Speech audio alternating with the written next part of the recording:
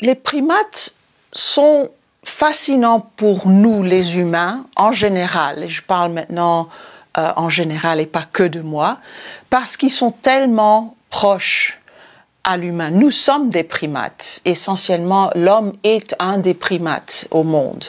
Et donc, il y a énormément de choses qui sont comparables entre nous et eux.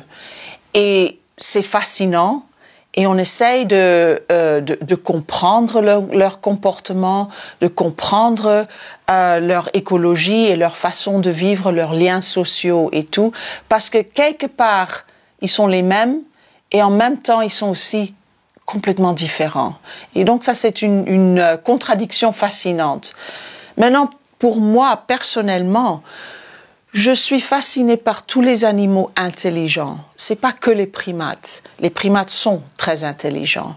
Et donc, c'est un animal qui qui est fascinant parce que c'est un animal qui réfléchit sur sa vie, qui, qui manipule les circonstances dans sa vie pour avancer ses intérêts, comme le fait l'homme. Et, et ça, je trouve remarquable. Mais on peut voir ça dans des éléphants, ou dans les loups, ou, des, orques, ou des autres animaux aussi. Ce n'est pas unique aux, singes, aux, aux euh, primates. Mais quelque part, parce qu'ils sont presque comme nous, c'est plus facile à interpréter. C'est aussi dangereux à interpréter, parce qu'on pense qu'on comprend parce qu'ils sont comme nous. Alors on voit quelque chose dans le comportement de singe et on dit ah oui ah c'est ça bien sûr parce que je reconnais mais c'est pas tout, toujours exactement ce qu'on pense parce que il y a beaucoup de similarités mais il y a aussi beaucoup de différences. Quelque part il faut être clair que les primates c'est pas une espèce c'est une collection d'espèces et nous faisons part de cette collection d'espèces. Nous sommes des primates.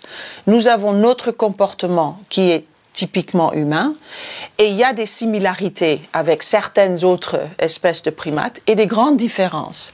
Par exemple, les gorilles vivent dans des harems avec un mâle dominant, quelques autres mâles que le dominant permet de rester dans le groupe et son, son groupe de femelles. Mais le mâle dominant et sa groupe, ils restent toujours ensemble. C'est un groupe stable qui ne change pas très rapidement. Ça, c'est les gorilles de montagne.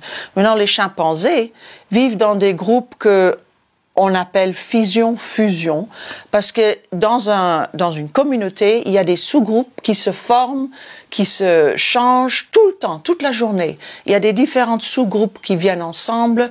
On peut avoir, par exemple, un petit groupe de mâles qui mangent, et puis il y a un qui part, il y a un autre qui arrive, et puis il y a une association avec quelques femelles.